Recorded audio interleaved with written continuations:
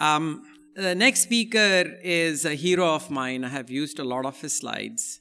Uh, he's done excellent work with two big names in this field, Dr. Ravnskov and Dr. Malcolm Kendrick, uh, the authors of The Cholesterol, the Great Cholesterol Con.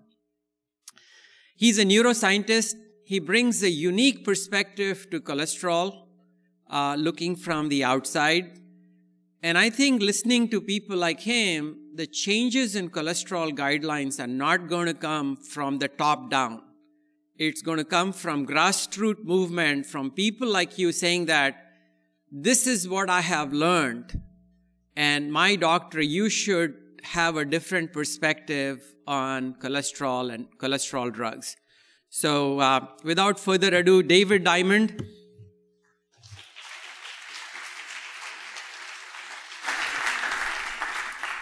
Thank you, Nadir, for that introduction and for inviting me to speak at the meeting. Thanks, everybody, also for coming out of this ungodly early hour. I hope I'll make it worth your while. Uh, so let's start with uh, my disclosures. Uh, first, as uh, Nadir said, I'm a, a neuroscientist. I'm celebrating now 40 years as a neuroscientist, beginning in 1978. Um, I have decades of service to the VA, just retired as a career scientist, where my primary work is on PTSD to help develop medications to help people with PTSD. I've been funded by a variety of different federal agencies. I still have funding and doing neuroscience research funded by NIH as well as drug companies to develop medication uh, for people with PTSD, also on the Science Advisory Board of Kegenix. But I'm not presenting any of that work today. I'll give you a disclosure that's more important and more relevant to my talk today, and that is something very personal. And here you are looking at actually my blood lipids and the likelihood that I would have a heart attack going back to 2007. I was diagnosed with a genetic disorder, familial hypertriglyceridemia which meant I had astronomically high triglycerides. You'd like for your triglycerides to be below 100. Uh, I went for years with my triglycerides over 700, um, and abysmally low HDL as well. So my doctor sat me down and told me about my high risk for developing a heart attack. And here you see in this study, you put the numbers together, and I had about more than a 15 times greater risk of developing a heart attack as a result of my abnormal lipids. Um, and in fact, my story in detail is available, thank you, Andreas, at Diet Doctor, um, in which there was a moment in 2007 when my doctor sat me down and he said, as the commercial is, diet, low fat diet, I followed the American Heart Association diet, and exercise have not worked. You must go on a statin. You have such a high likelihood of developing a heart attack in the next 10 years. Well, I've made it 10 years. um, and what I decided at that time was, uh, well, I've got a PhD in biology. The least I can do is just read a bit about the science. I didn't even know what a triglyceride was. I knew a lot about the brain, but I knew nothing about heart disease. So I started reading about the triglycerides. I decided rather than going to the pharmacy, I would go to the library. So I read a few papers, and those few papers have now developed into a few thousand papers. So I have a separate career development area in which I now study cardiovascular disease. And so what I can share with you, I've learned over the last 10 years, in which we have at this meeting, which is summarized so well in this cartoon. So as the doctor is saying to the woman, you went on Atkins, you lost weight, you lowered your cholesterol, you cured your blood pressure, you're so much more healthy, um, but the diet is bad for your health. So you have all these improvement in your biomarkers, but you're going to die. You're just going to leave a thinner corpse as a result of going on low carb diet. Even more important, you notice that the cartoonist has you've lowered your cholesterol because everyone assumes that if you want a good direction with diet, you'll lower your cholesterol. Everybody knows that. So in fact, the fear, which we heard pervasive yesterday, is the low carb diet can increase LDL, and so you're going to be healthier and you're going to have a heart attack. So this is so consistent. We heard this throughout the talks yesterday. We'll hear it throughout the talks probably today. Um, and so that's what I'm going to address, the fear of LDL as causation for heart disease.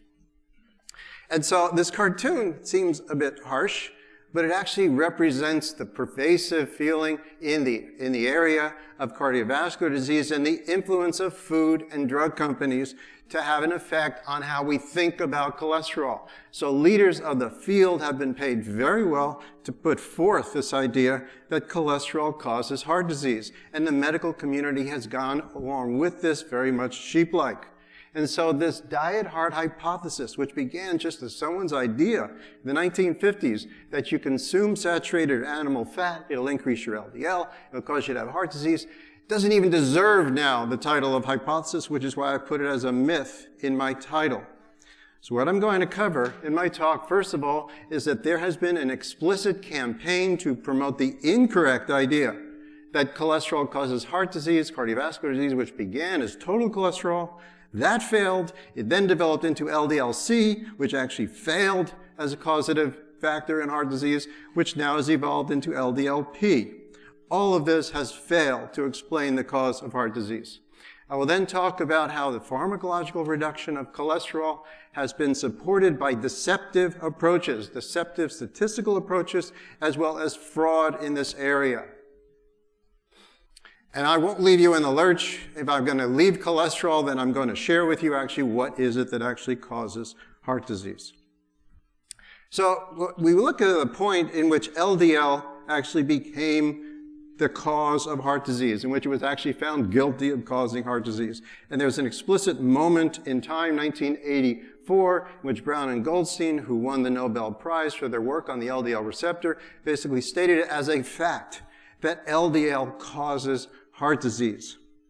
And so the problem at that time was there had been decades of research that had failed to conclusively show that cholesterol in general, LDL, actually cause heart disease. So there was a need in the 1980s to confirm that LDL causes heart disease, or at the very least, cholesterol causes heart disease. So there is a powerful, influential finding from the MRFIT work in which hundreds of thousands of men were followed for many years and they looked at the relation between total cholesterol and heart disease. This is still a study that is cited as evidence that cholesterol causes heart disease. And this is a frightening graph because this shows the relation of death from heart disease to cholesterol level in red. And so what you're looking at here is the reference at the left shows the rate of heart disease with the people with the lowest cholesterol at 150. And so what you find here they're emphasizing is any small increase in cholesterol increases your risk of dying from heart disease. So here from 1.0 to be at 2.0 means you have twice the risk of dying. 3.0, three times the risk. So as your cholesterol rises, you're dramatically increasing the risk of dying from heart disease based on your total cholesterol level. So any small increase in cholesterol will increase your risk of dying from heart disease. So I looked at this, and in fact, here they are concluding the great majority of middle-aged men are at risk of dying of heart disease with any increase in cholesterol. So I looked at this study and actually looked at the real data. So here we're looking at a ratio. So we're going to look at this study and look at the raw data, the actual percent of men that actually had a heart attack and died. So what I'm going to graph in blue are the percent of people that did not die of coronary heart disease based on their cholesterol level. And that is in blue.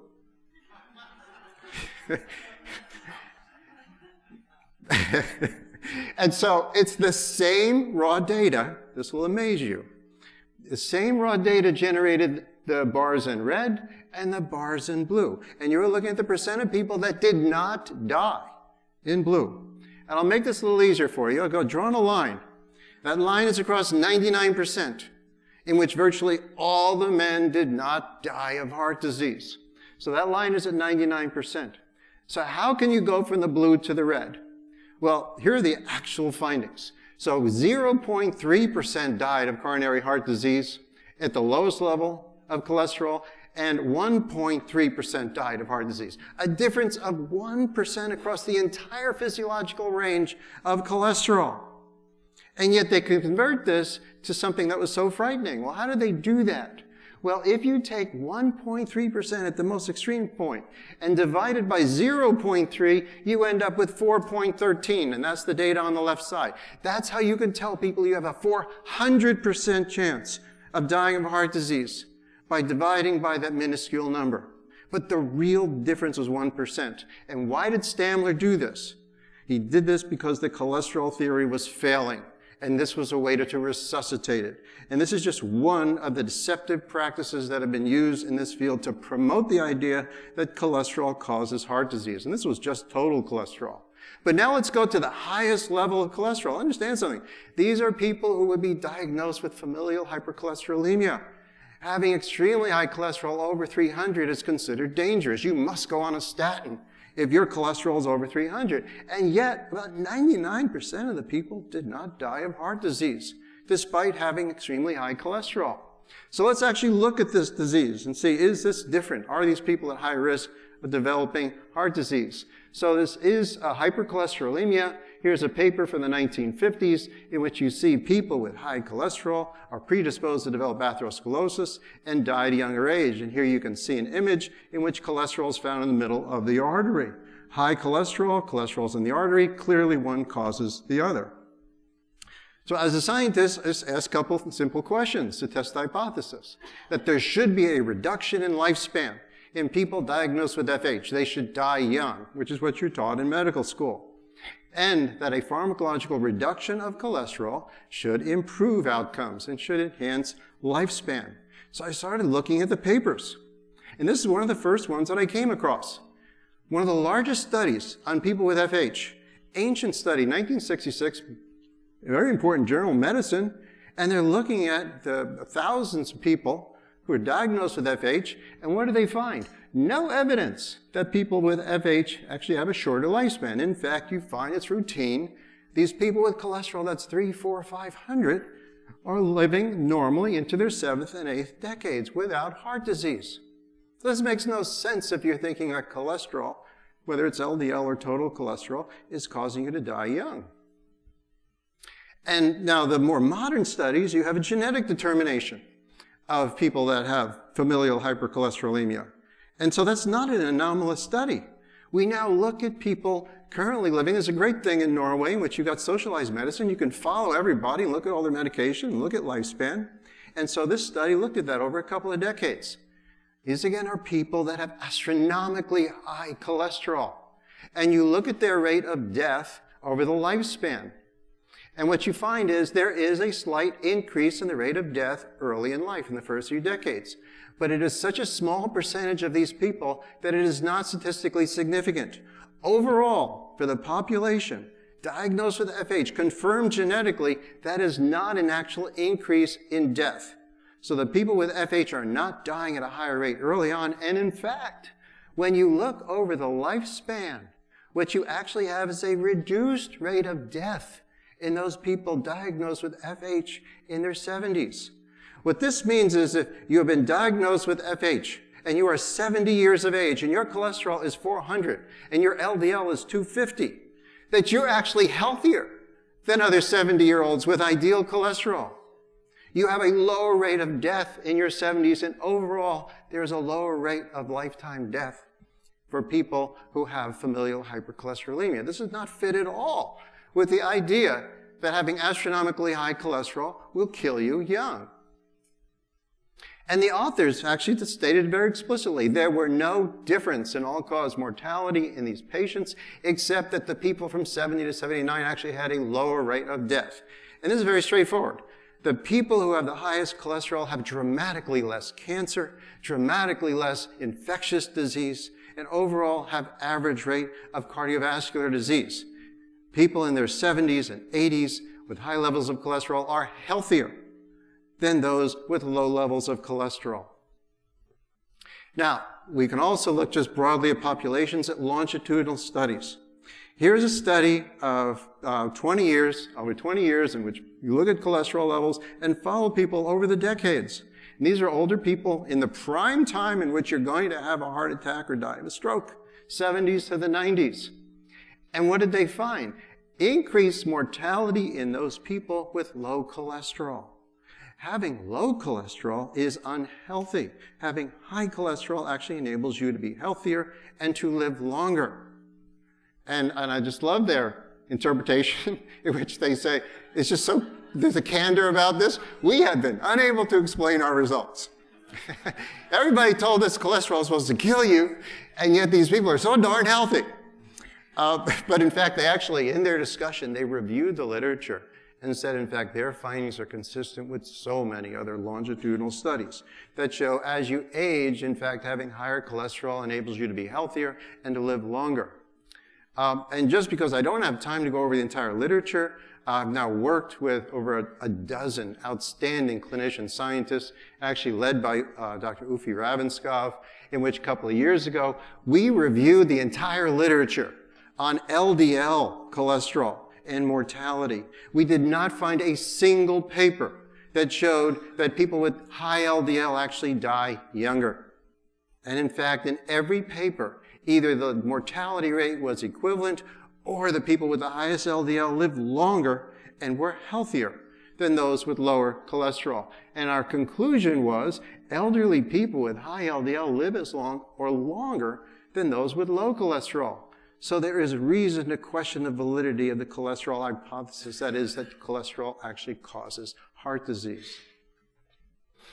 And more recently, our group has come out even more sternly and forcibly to make the point, as we have in the title of our paper we just published this year, an expert review of clinical pharmacology, LDLC does not cause cardiovascular disease. We could not make it more explicit. To state it as a fact, to go against what supposedly conventional wisdom is not wisdom at all. And so in our table, here is a quote in our paper, cholesterol hypothesis does not, uh, is not consistent, does not satisfy any criteria for causality.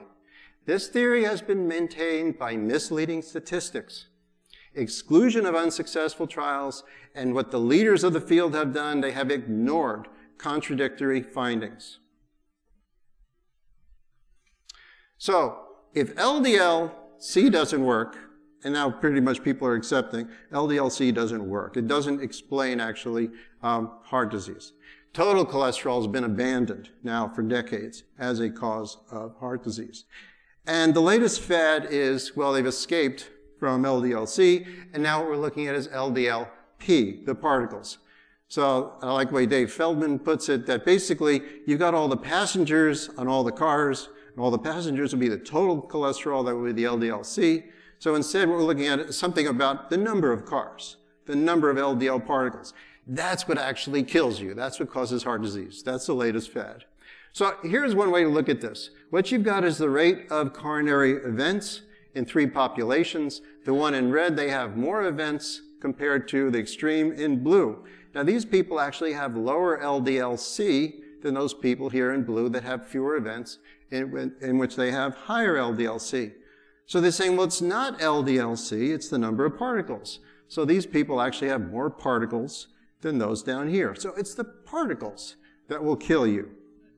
So let's look more closely at this study and at the people.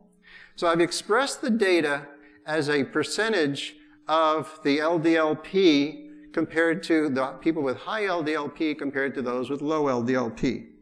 And so what you've got here is those that have high LDLP, which means they have more coronary events, they had about 25% more LDLP compared to those with the low. And those people had actually less LDLC. So I've taken the data from the last graph and just converted it. So you're comparing those with high LDLP to those with low LDLP. So let's actually look at these people and what's different about those that have high LDLP versus low LDLP. Well, there's a lot. And so when you look at these people that have the high LDLP compared to the low LDL people, they're vastly different. I mean, the first is they have about 25% lower HDL. And HDL is called the good cholesterol because having more of it is associated with less heart disease. And also higher blood sugar is associated with lower HDL. And so they've got lower HDL. And when you look at the incidence of diabetes, there's more than twice the rate of diabetes in those as type 2 diabetes and those that have the high LDLP. and look at all the markers. Those that have metabolic syndrome, 25% higher. Their triglycerides are about 60% higher, along with higher LDLP. And you got 25% more smokers and significantly higher, 60% higher HOMA-IR, in which is greater insulin re- resistance. So there's reduced insulin sensitivity. And so ultimately what we're really looking at is now LDLP is simply a marker for an unhealthy lifestyle. This is another reason why you can look at whether it's total cholesterol, LDLC. This is not evidence that LDLP causes heart disease. What you find is more LDLP in people who have an unhealthy lifestyle. It is simply a surrogate marker. This is not evidence that LDL in any way, shape, or form, whether it's small or dense, LDLP, LDLC, there is no evidence that LDL in any form causes heart disease. And so over the decades, there have been numerous studies now in terms of lowering LDL. Since I've presented the evidence to you now that LDL doesn't cause heart disease, and so the studies you will find have almost no effect on lowering LDL as far as heart disease outcome. It's a little bit like saying to someone who's a smoker, well, if you switch from holding your cigarette with your right hand to your left hand, well, then we'll reduce the incidence of lung cancer in you. Okay? It's about that effective. When you think about LDL is not involved in causing heart disease, you're not going to expect, therefore, any benefit by lowering LDL. So in other talks, I've covered some of the older work, such as there's a bioresin to reduce LDL. It's called styramine. That trial failed. Um, but we'll go to some of the more modern work, the statins, which everybody is enamored with, the wonder drugs, which reduce LDL by blocking the HMG-CoA reductase enzyme. But we also have perhaps one of the best kept secrets in all of cardiovascular research, and that is there's another category of drugs that's been studied extensively over the past couple of decades, and they're called CETP inhibitors. And what they do is interfere with the conversion of HDL into LDL, therefore increasing your levels of HDL, that's the good cholesterol, and dramatically decreasing LDL.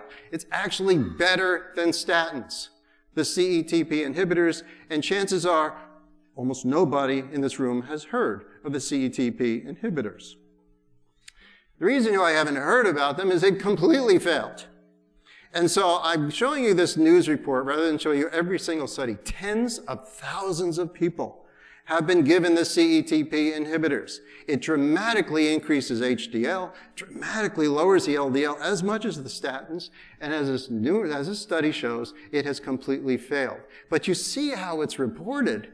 The dangerous kind of, LD, of cholesterol, that's LDL, it, it, decreased it and more than doubled the good cholesterol.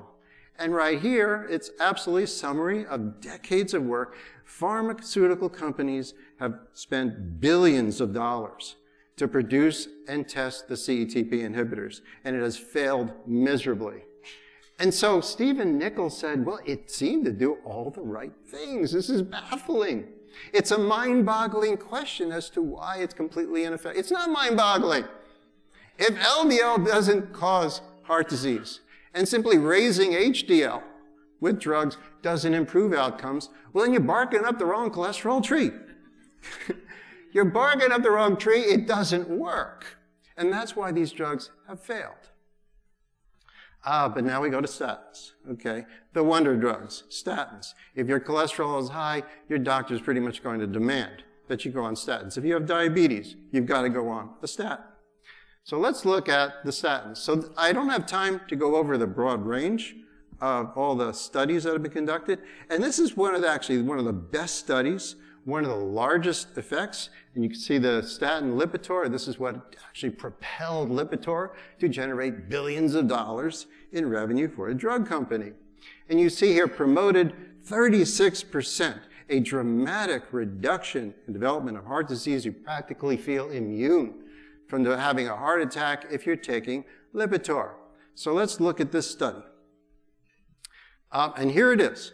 So the 36% reduction in heart disease is right here in Lancet.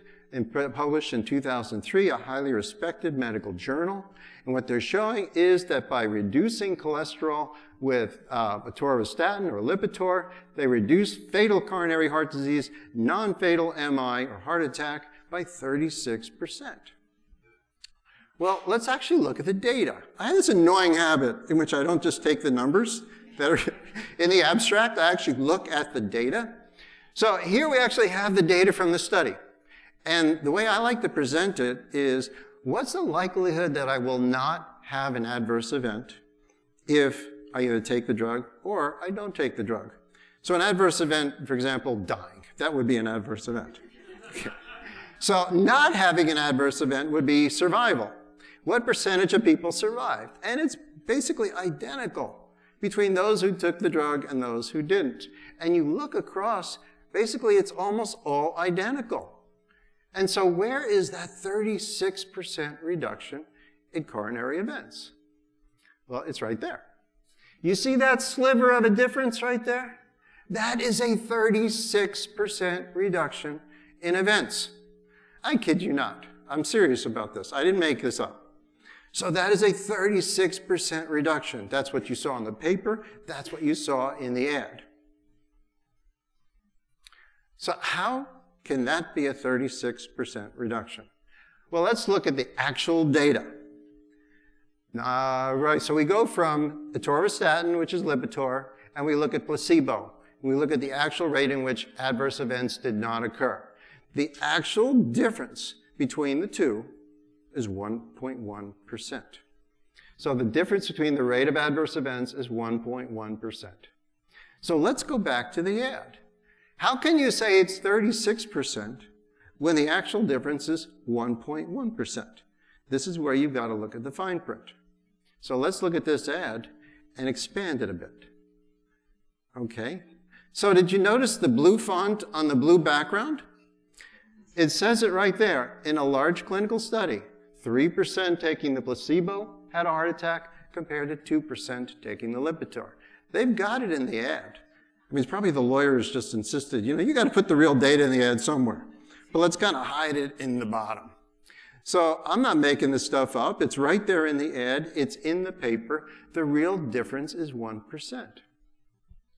So how can it be both 1% and 36% at the same time? So this is what they do. You take that 1.1% and you divide it by 3%. 3% being the rate of coronary events in the placebo group. Why? For absolutely no reason whatsoever other than the fact that you can then distort the data.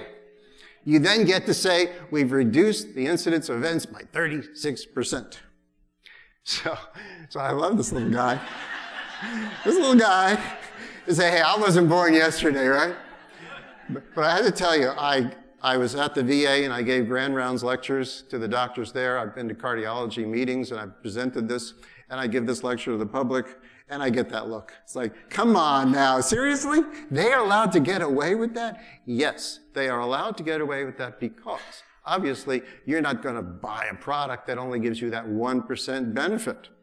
And so that's why they distort the data. It's a little bit like if you got a financial advisor that came in with 1% He's actually made 1% on your money last year. And this year he made 2% when the market's up 20%. And he says, isn't this fantastic? I doubled your return this year. Yeah, but you only made an extra 1% for me. So this is what they do to be able to promote the statins. And so understand what that 1% means. The 1% means that for every 100 people prescribed Lipitor, one out of that 100 people will have one less heart attack in five years. It's kind of like when that Clint Eastwood movie with Dirty Harry, when he says to him, you feel lucky, punk, you know? well, do you feel lucky? You're the one taking the Lipitor. Are you going to be the one out of a hundred people that will have one less heart attack over five years? And that's really the Lipitor effect.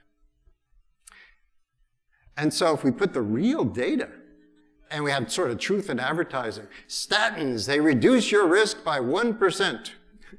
And that's what the ad should look like, but they don't. Now, a more recent study, this is what's propelled Crestor to generate billions in revenue, is the Jupiter study published in 2008. And here's an article about it. The leader of the study, John Kastelein, said, it's spectacular. We have actually prevented a first heart attack. It's breathtaking, Steve Nissen. It's a blockbuster. It's paradigm shifting. It's like, hey, this is like the most amazing thing ever. Go out and see this greatest movie. It's a blockbuster movie. Okay. Um, and so let's actually look at this study, the Jupiter study. And so the Jupiter study here is shown in this CME course. And so I look at the CME, even though I'm not a physician, I like to see about how physicians are educated. And so here in this course, in which you get credit for learning about Crestor benefits, and you can see the difference in incidence of coronary events. And you can see the placebo group has a much higher incidence of coronary events compared to Jupiter. And it's a 44% difference. That's really powerful. But this is not the way it should be shown. What you need to see are the real data, and you need to know more. So first of all, the Jupiter study was actually terminated at 1.9 years. Very few people are actually studied out here. The study ended here. And so the graph actually starts, and that is the 44% difference right here. Understand also the scale. The scale goes from 0 to 1.0. So if you were to actually put this entire graph on the screen, the top would be in the stratosphere somewhere. Understand that? And so you're looking at a microscopic part of this graph. So now brace yourself. I am going to show you, this is not my graph coming up. I'm going to show you the graph actually in the New England Journal of Medicine that shows the same data, but now in real form. This graph now out of the New England Journal of Medicine. The same data. These are actually two lines right here. And this is reported as a 44% difference because the effects are microscopic. And so what you can do is take a minuscule molehill, molehill and turn it into a huge revenue generated mountain of bunk. And so here is the actual finding right out of the paper. It's almost like in magic. You know, magicians can right in front of you, deceive you. And that's what's happening here. We're being deceived. And this is what it's generated billions for the drug companies selling Crestor. This idea of using what's called relative risk, which amplifies minuscule effects. The real problem is you're looking at the incidence of adverse effects. The problem is almost nobody in Jupiter had a heart attack. Nobody died. And so they're taking microscopic effects, amplifying it by distorting the data. And I would like to remind you again what Steve Nissen said about this, a person who is very well funded by pharma. What did he say about this effect? Remember, breathtaking, blockbuster, absolutely paradigm shifting? I don't think so. All right, so I don't just present this in talks. I actually published this analysis few years ago with Uffe Ravnskov. We published exactly what I'm telling you now, that high cholesterol is not atherogenic. In fact, you live longer. We talked about the relative risk as a form of deception, and the benefits of statins are offset by their adverse effects. Published in Expert Review of Clinical Pharmacology. And so one of the most profound adverse effects are, uh, is the development of diabetes. Now, you will typically hear that diabetes occurs at a very low rate. And that's because the drug companies supporting this work, they're not looking for diabetes. And if you're not looking for something, you're not going to find it. But here's a really nice study in which you actually start people off and you take measures of A1C and you take their measures of fasting blood sugar and you follow people for five to six years and you find spontaneous development of type 2 diabetes in about 6% of the population, but you're looking at 11% of the people that are taking the statins now develop type 2 diabetes. These are healthy people, and you've added about 5% of them will now develop diabetes. And again, in that time, the benefit is only for 1% of the people to have one less heart attack. Now, I have to tell you what's kind of cool is that I'm now seen as someone who is has some expertise in the cardiovascular field, I've actually been invited to review papers on statins and to write commentaries. And so just recently I was invited by Public Library of Science, the editor, to evaluate the statin research. And I wrote a commentary along with some outstanding clinician scientists, Michel de Lorgeril, Malcolm Kendrick, Uffe Ravnskov, and Paul Rosch. So we wrote this commentary, which is now in press in PLOS One. And this is probably the most comprehensive review of adverse effects of statins. We have dozens, over 60 papers. So this is from the peer-reviewed medical research. And you were looking at all the different adverse effects. Again, this is not, as Steve Nissen says, some internet cult. This is from peer-reviewed medical research showing significant increase in all these different adverse effects as a result of taking statins. So to prescribe a statin, to my opinion, to take a statin, for a doctor to prescribe a statin to a healthy person, in my view, is malpractice. You are increasing, thank you. You are increasing the likelihood that your patient will become ill as a result of taking the statins. And overall, you're not going to live longer. This is a result of primary prevention. There is no improvement in mortality rate with statins, and it's little better in terms of secondary prevention. The effects of statins are minuscule, and if anything, it's only because statins have a slight anti-inflammatory and slight anticoagulant effect. It has nothing to do with the LDL lowering with the statins. So, bring this now toward a close. Then I'm saying it's not cholesterol that causes cardiovascular disease. Then what is it? Well, I want to show you another paper on familial hypercholesterolemia that sort of reinforces my point that these people are not inherently at risk of developing heart disease. This is an ancient study, but it's very useful because it was before the development of, statins. So these people are not on medication that can effectively lower their cholesterol. So you see astronomically high total cholesterol, extremely high. This is recommended you should be below 200. Their LDL is extremely high, should be below 100, and here they are almost 250. But you've got equivalent lipids between two groups. The one in red, they have been diagnosed with heart disease, and the one in blue, they have no heart disease. And there is no difference in their lipids. So what is the difference between the groups? Clotting factors. Those people with familial hypercholesterolemia that develop heart disease have more clotting factors. FB is fibrinogen, factor VIII, also clotting factors, two proteins involved in getting platelets to clump together more clotting factors results in more heart disease. So a subset of people with FH have more active clotting factors, and it has nothing to do with LDL. It's kind of a game that God has played in which these people have all got high cholesterol, and some of them have got high clotting factors. And it's actually the clotting factors that can kill you. Here is another more recent study in which I actually look at people with FH, and again, no difference in LDL between those with heart disease and those that don't. Astronomically high LDL, but the difference is a subset of the people have a polymorphism, a form of the gene that increases clotting. And these people have more two and a half times the rate of heart disease than those with equivalent levels of LDL, but no heart disease. Again, it points to clotting factors. So we have just published a paper um, out in uh, medical hypotheses directly attacking the idea that it's LDL in people with FH that causes cardiovascular disease, and it is not. Specifically, we have concluded that the individuals with FH who have premature cardiovascular disease, the point to look at, the factor is coagulopathy, excess clotting, as well as reduced fibrinolysis. That's the reduction of clots. And so the evidence is so clear. When you look at clotting, what you've got actually is a relation for both coronary heart disease and stroke, independent of age. Increased fibrinogen levels, again, the protein that triggers clotting, increased fibrinogen levels independent of age is associated with more coronary heart disease as well as stroke, independent of cholesterol levels. And in fact, I'm working on a review now in which I'm looking essentially all risk factors for coronary heart disease, as well as globally cardiovascular disease. And what you've got when you look around at all the risk factors, you see a mechanistic connection to increase clotting. So what you've got here are angry platelets that are clumping together. And so, especially relevant to the work here is being obese, having metabolic syndrome. Any increase in blood glucose triggers platelet aggregation having high triglycerides, which is very relevant to me. High triglycerides triggers greater platelet aggregation.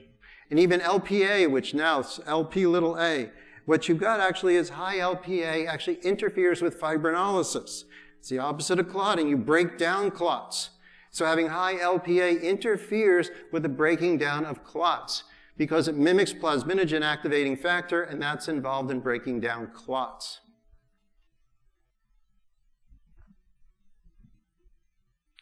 Okay, so to bring this to a close though, we are left with a problem.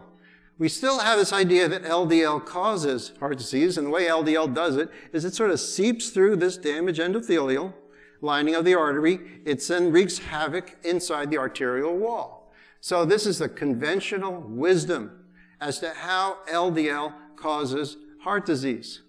Well, here we actually have a cross section of an individual relatively young in his 20s who died suddenly, but not of heart disease. And you can actually see that core of lipid inside his uh, artery wall, and it contains cholesterol and white blood cells and fibrin and pathogen remnants, so it's full of gunk. But, and the idea is that the LDL is somehow making it through. I call this the Trojan horse theory of atherosclerosis. The LDL is making its way through this L, uh, through the endothelium. It finds its way into the core, leaving the endothelium relatively intact, and then it wreaks havoc. And then the LDL damages the inside of the wall. That's why God created LDL. Simply to seep into the walls of our arteries and then wreak havoc and cause damage. Well, some LDL may very well get into the endothelium, but when you look at this endothelial lining, in which there are layers and layers of plaque inside that accumulate over decades, somehow that LDL keeps getting through that damaged endothelium and then keeps wreaking havoc, and the endothelium keeps recovering and it looks relatively pristine. This, frankly, makes no sense to me if we're trying to understand how it is the plaque actually develops. So I found this paper of 1959, which I think is incredibly important because they're talking about the development of atherosclerosis. And so talking about damage in the intima, the intima in the middle of the arterial wall. And talking about there's this deposition of fibrin, which is produced as a result of activation of fibrinogen after tissue injury. They're talking about injury in the middle of the arterial vessel, in the wall, not in the endothelium. And so how can you have injury in the middle of the wall without injury to the endothelium? Well, we get to what's called the vasa vasorum. Vasovasorum is actually the, the, the layer, the coronary artery is so thick that it needs its own vasculature, a microvasculature that feeds the cells inside the wall. So you've got this microvasculature because the blood can't actually get right through this wall. You actually have to have additional vasculature to support the cells. These are microscopic blood vessels, perhaps even close to the size of, size of capillaries. And so this microvasculature actually feeds the inside of the arterial wall. And so there have been studies going back decades into the 1970s that link blockage of the vasa vasorum resulting in hypoxia and necrosis in the middle of the arterial wall to the development of atherosclerosis. So here are some of the older studies, some of the more recent reviews, and an outstanding uh, review by Ravnskov and McCully, 2009, on how it's blockage of the vasa vasorum that ultimately causes atherosclerosis. It is damage from the middle. It is not LDL seeping into the endothelium. And here's a more recent review, very nice one from Subbotin, in which he covers the same topic. The idea is here you've got a healthy um, coronary artery with the vasa vasorum into the intima. These, uh, these blood vessels get blocked. Eventually, then they have to grow into the other layers of the coronary artery. And with repeated blockage of the vasa vasorum, you then have necrosis. The tissue dies. It then recovers. It is repaired. And with repeated blockage of the vasa vasorum, that then grows and the atheroma grows. So to summarize then, the hypothesis is that repeated blockage of the vasa vasorum results in hypoxia tissue necrosis and repair and growth of this plaque, which ultimately can block the coronary artery.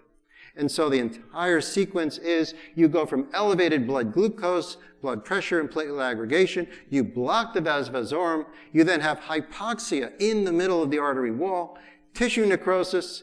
You then have actually pathogens. Bacteria can then invade this damaged tissue. And then you have inflammation.